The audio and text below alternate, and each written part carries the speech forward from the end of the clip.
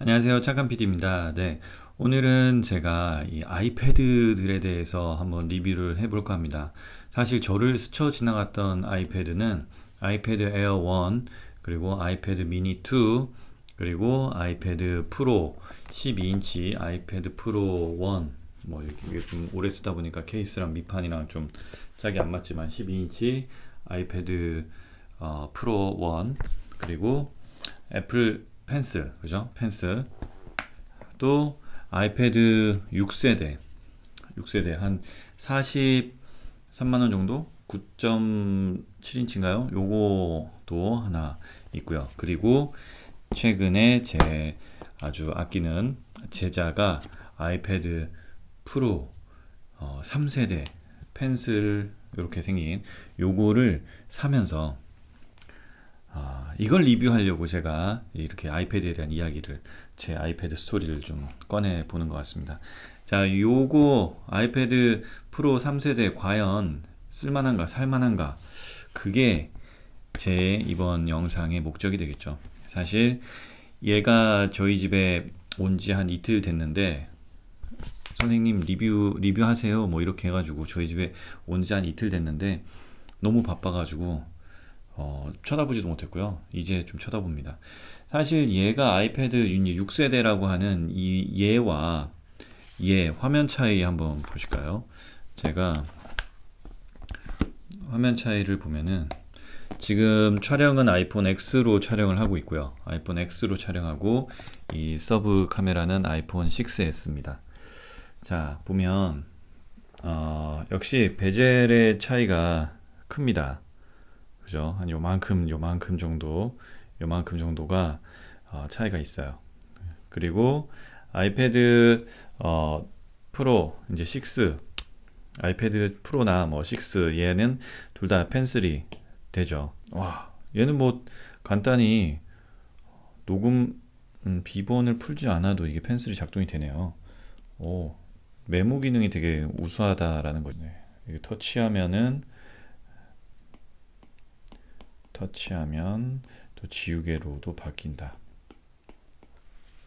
어, 이렇게 되게 재미난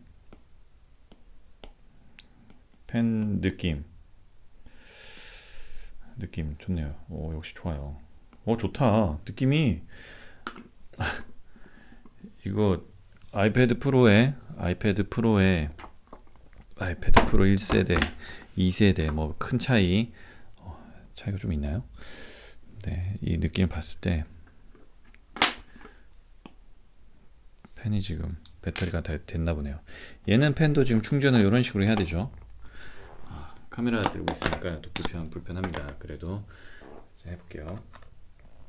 네, 펜을 연결하면 애플 펜스 배터리 전원 부족, 음, 전원이 부족하군요. 이게 하나의 단점이 될 수 있어요. 기존에 있던 펜들은 조금 방치해 놓고 한 하루 이틀 며칠 지나다 보면은 방전이 되죠. 근데 또 충전도 금방 돼요. 금방 돼서 쓸 만큼은 뭐 10초 뭐 이 정도만 해도 좀 조금 쓸 만큼은 되죠. 오케이. 제가 잘 쓰고 있는 음, 메모장인데 이 느낌과 어, 이 느낌도 부드럽고 또 이 느낌 야 미세한 차이네요. 미세한 차이. 정말 미세한 차이입니다. 음 여기 혹시 얘가 작동할까요? 안 하죠? 여기에는 얘가 작동할까요? 역시 안 하죠. 네. 자, 이렇게 아주 미세한 차이가 있는데, 음, 그런 펜슬에 대한 펜슬에 대한 기능 말고도 뭐 얘기해 볼 만한 게 뭐가 있을까요? 속도 속도에 대한 이야기도 한번 해볼까요? 자, 제가 아이패드 프로와 프로 1세대와 3세대 얼마나 달라졌는지 얼마나 빠르게 반응하는지 제가 속도 메모를 한번 열어, 열어볼게요. 메모 어. 다시 음, 터치도 뭐, 아, 메모를 하지 말고 그러면은 어, 제가 야 이거 손이 하나 없네. 손이 하나 더 있어야 돼. 유튜브. 아, 아이패드 프로에서는 아이패드 프로 음, 짜잔. 자 이제 아이패드 프로 3세대에 대해서 이야기를 좀 더 해보도록 할게요. 아이패드 프로 뭐 여러분들도 좀 아시겠지만 많이 들으셨겠지만 위아래가 헷갈릴 수 있어요. 렌즈가 아주 적게 작게 여기 위에 상단에 상단에 렌즈가 있거든요. 근데 잘 요게 요게 렌즈인데 잘 안 보여요. 얼핏 보면 잘 안 보여요. 그래서 어 이게 어디가 위지 아래지 이렇게 헷갈려 가지고 뭐 돌리 돌리는 거에 좀 불편함이 있을 수 있다.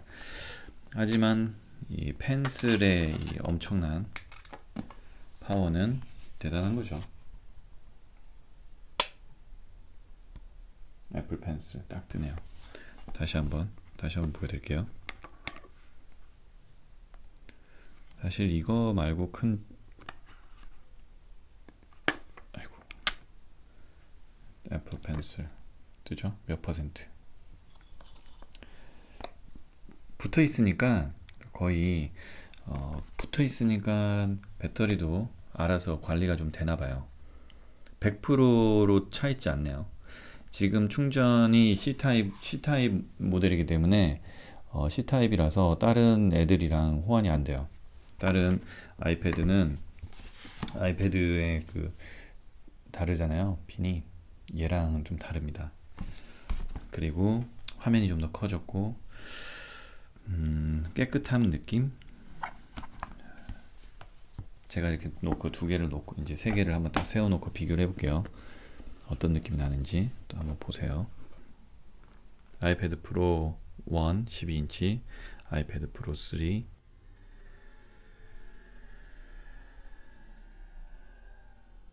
아이패드 6세대